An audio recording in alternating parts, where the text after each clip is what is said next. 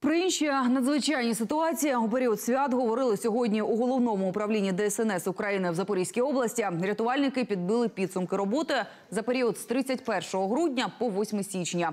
У цей час не обійшлося без пожеж та побутового травматизму, причиною чого в тому числі було алкогольне сп'яніння.